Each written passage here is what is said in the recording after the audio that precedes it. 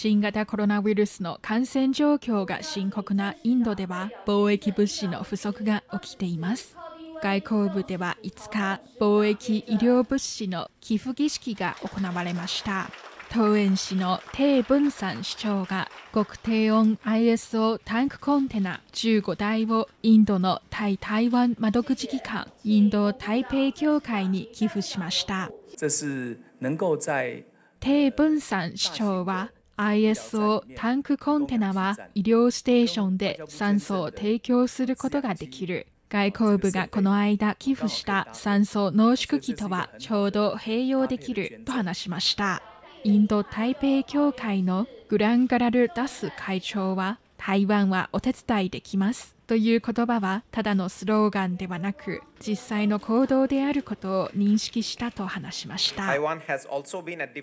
湾は最前線に立ち医療物資とコロナに対抗する知識を世界と共有してきたインドもその恩恵を受けている過去1年間我々は台湾は確かにお手伝いできることを認識した。この言葉はただのスローガンだけではなく実際の行動であると再認識した。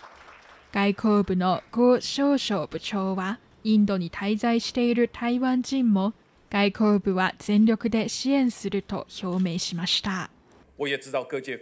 インドでコロナに感染している国民と政府の外交官たちのことに各界は強い関心を持っている。彼らができるだけ早く帰国して治療を受けられるよう尽力する。寄付者である。アタニグループの台湾提携業務の責任者。張健定氏は台湾とインドが共にコロナに勝つよう祝福し双方の交流と連携がさらに深まるよう期待しているとコメントしました。